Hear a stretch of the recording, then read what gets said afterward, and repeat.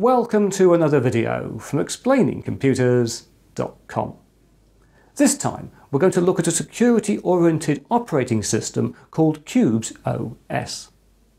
This separates different parts of your digital life into so-called cubes, also known as compartments or domains, each of which runs in its own virtual machine. So, for example, you may have a personal cube, a finances cube, and a work cube, with each isolated from the other using Xen virtualization. Qubes OS even features disposable virtual machines that disappear after a single use. All of this is, I think, very interesting. So let's go and take a closer look.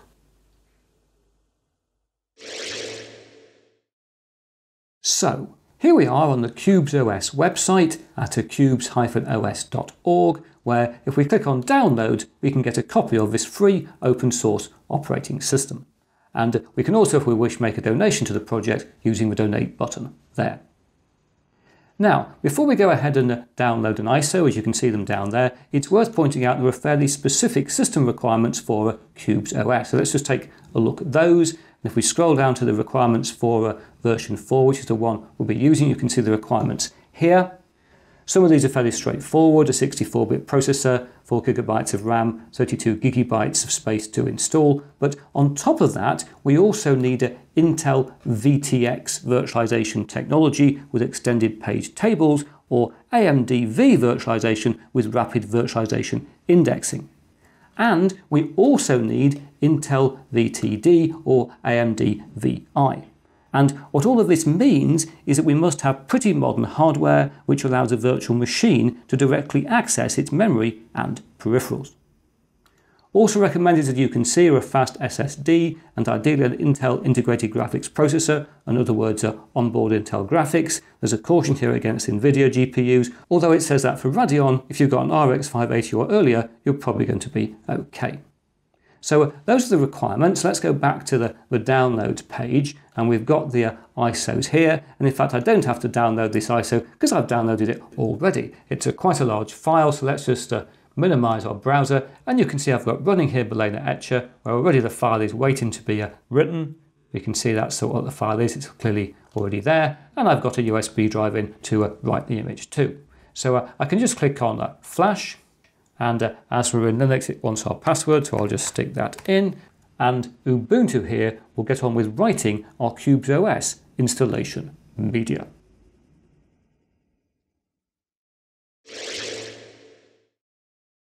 Now, with our installation media completed, there it is. We need to insert it into a computer, so we'll put it in here. And as you can see, the uh, PC I'm using is this, which is the Odyssey x86J4 105 and I'm using this as the test rig here because my test rig I normally use doesn't meet all the hardware virtualization requirements for running Qubes OS but uh, this Odyssey x86J4105 does and it's also got integrated Intel graphics so it should be uh, more suited to running a Qubes OS. And uh, we're going to be installing on an SSD. I'm not using an NVMe SSD, which would be better, really, it would be faster. I'm using this uh, 2.5 inch SATA SSD. It'll be hopefully perfectly sufficient. So uh, let's now turn on the board. And uh, here we go. Oh, this looks uh, hopeful, doesn't it? Let's do install Qubes uh, 403. And I can now set my language there, which I'll do there, which should be okay, and continue. And I now need to select an installation disk, so we'll select the uh, SSD, there we are, that should be okay. And we will encrypt our data as this is a secure operating system, so we'll say done on that. Uh, we need to enter a passphrase, which we're using to uh, encrypt our disk. Let's use a uh, See if you can guess what that was. It says it's weak, but it'll be okay. And it's uh, telling us that the uh, drive is not uh, got enough space on it, but let's do. Let's try reclaim space. We'll uh, delete that uh, partition, reclaim space, and now I think begin installation. And it looks like I've got to put a username in. Let's make sure I get this right. What should we do? We'll do our normal EC with a very simple password. Ironically short for a secure system, but that'll be OK. Oh, well, I haven't created a root password either. Let's put that in as well. There we are, looks a bit better now. And uh, there we are. After an install that lasted about half an hour in the real world, Qubes is now successfully installed and ready for me to use. So we can uh, go ahead and uh, reboot our uh, system. And there we are entering uh, Qubes OS. We now need to put in our uh, disk password, which was uh, should unlock our media. And uh, there we are. We've now arrived at the initial setup menu. So let's click on uh, this. I think we need to select that option. Uh, create default system cubes, default application cubes, uh, etc. I think we'll take all the defaults. It looks okay to me. So we'll click on done there and then uh, finish configuration. And uh, there we are, it's finished. If I just put in my uh, password like that, hopefully we performed a successful install of a Qubes OS.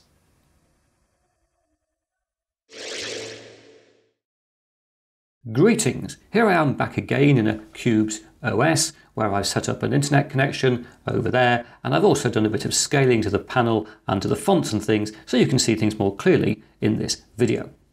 And I've now been experimenting with QubesOS for a couple of days, and after that period of time, I've concluded that this is really, really cool. I've not experimented with something so innovative in the world of operating systems for a very long time. So let me explain to you why I think it's very exciting. And we'll start with this menu here. There are some basic things like system tools, I won't go through those, but there is, for example, this option here to create a new cube. These are segments of our digital life. And you'll see when you create a new cube, you base it upon a template. And the default templates we installed in our default install were based on Debian, Fedora, and a Whonix, as you can see. But you could also have, for example, a Windows cube if you installed the relevant template. But I'm not going to create a new cube because there's lots of cubes pre-installed for us. There's a disposable Fedora cube there. There's a disposable Whonix cube. And if you're wondering what Whonix is, it routes your internet traffic through Tor, which means it hides your IP address, allows you to be anonymous online. And you can see here the various bits of software you could run up from the menu inside that cube. We've also got a, a, personal cube here set up for us by default, an untrusted cube, a vault cube, a work cube, and then also various cubes, various domains running things like the firewall, network connectivity, etc. Everything is divided into cubes. And then finally down here, we've got access to the template on which the other cubes are based. If we create a new cube, as you just saw, it will be based on one of these templates. Anyway, I'm sure what you want me to do now is to run up a cube or run up something in a cube. So we'll run up, for example, Firefox from the personal cube. You'll see it starting up the cube up there. And the first time you run up a cube in a session, it takes a bit of time. It is effectively booting a virtual machine. We're not on very powerful hardware here. So I'll let this run through in real time. I might speed through some of these in the, in the future, but just to show you how long it takes to boot up a cube on the, a Celeron-based uh, PC. And uh, there it is. It's now brought up Firefox in the personal cube. And as you can see, it's got a yellow border. Different cubes are color coded so you know which cube we're in in terms of the window border and also what's up here on the panel. And if I launch another piece of software from a personal cube, it'll be much quicker. Let's say launch the, the file manager. It's obviously a smaller thing than Firefox probably, but also the cube didn't have to start, it's come up there. If I launch, say, another piece of software, let's go down to, say, the work cube, which I had already running. Let's launch a Firefox from there we've now got Firefox running in a different cube, in a different virtual machine. This is showing the documentation for Qubes OS, which is really good, very, very well documented on the Qubes OS website. So we can launch different programs running in different cubes, and they're color-coded to show us what they are. And you've got controls to uh, roll them up if you wish. You can uh, maximize them and bring them back again where you normally can. If you minimize, they'll go up to the panel where you can identify them by the colors, as I've said. Because you could get lots of windows running, we've got workspaces here, so I could drag this across to another workspace. We're now on workspace 2. There we are, that'd be over there. This one will be over here. And you can also send things to workspaces by just uh, sending them across. So we can move that to workspace 2, it'd be over there. Or we can move it back to uh, workspace 1 if we wanted to, by moving it back, uh, there we are, the other way. And uh, there it is. Now, having launched a file manager, that's a good opportunity to talk about devices. Let's bring up another file manager. Let's bring up the one for, uh, say, I don't know, untrusted file manager. Let's bring that one up. That's another queue. It'll take a second to launch. We'll give it a time to do that. And uh, there we are. We've now got the file manager in the untrusted queue with its a red border to tell us it's untrusted. And I'm going to bring up other locations in both of those just to show you there's nothing else there other than the computer itself and uh, networks. It's on a Windows network here. But uh, let's now plug in a USB drive. So I'm going to plug in the USB drive like this. There we are, plugged in the USB drive, and it'll now come up, hopefully in a second. There it is, look, it's been found. And there's a little device up here which allows us to allow different cubes to see it. So if we go here to the devices widget and uh, bring it up like that, you can see all the different block devices on the system and what can access them. So we could go across here to say give it access on the personal cube to that uh, USB drive. And oh, there it is down there. I thought it was up here. It's down here, Christopher. Look at the different colours. And you can see it's come up. We can open it up there. What is on that drive? Not a lot. One file, I think. And if we clicked on that, it would run up in the viewer in the personal cube. So it's, it's come up like that. I'd also point out that up here we've got a very useful little thing to show you all the different domains that are running, all the different cubes running here. We can actually shut them down, pause them. Pause is really cool, isn't it? You can pause a computer if you wish, or at least a, a virtual part of one. We've also got a cube manager down there, which will show us everything running when it comes up. I'm stressing out this poor little machine. Uh, you should really run QubesOS on very powerful hardware, so I'm not being fair to it here, but it's still running perfectly well. Let's just space things out. My scaling has messed it up. But you can see what is running, memory being taken, all that type of stuff. You've got a lot of control here of all your different cubes.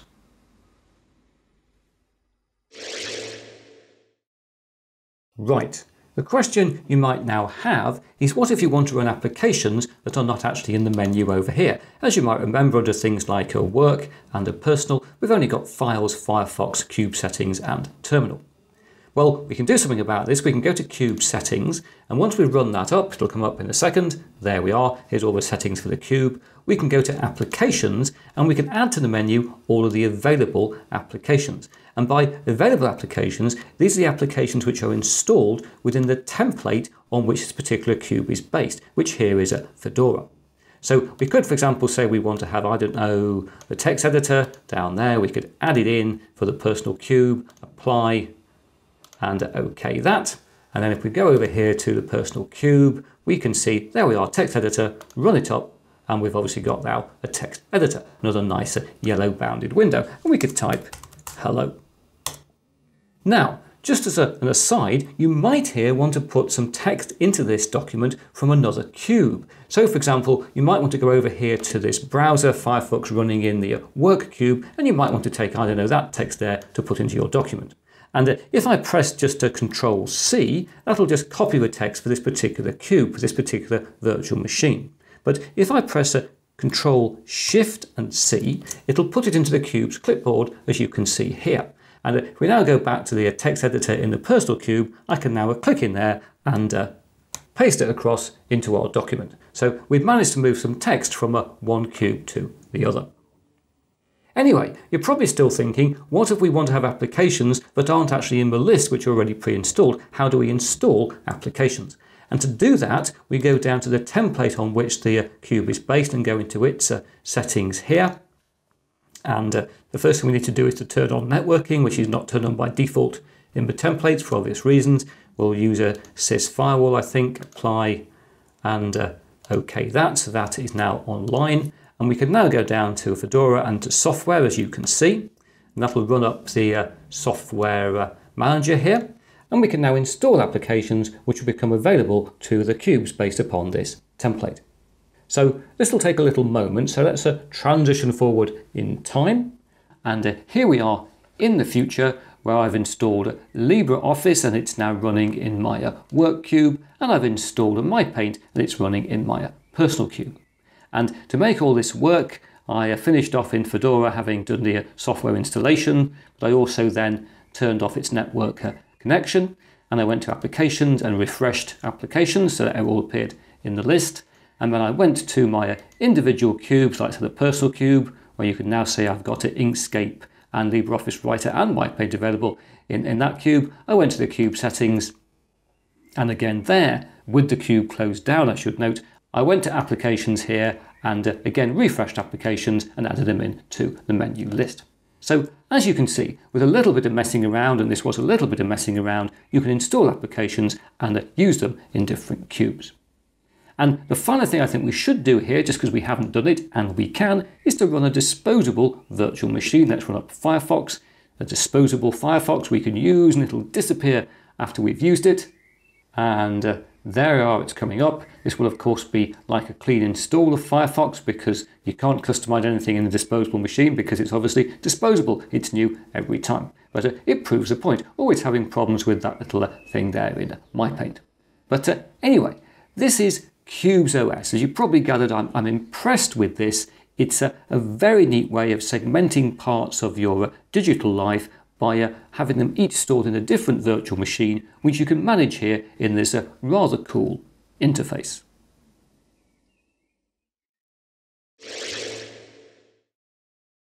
Qubes OS is based on a really neat idea that's been very well implemented.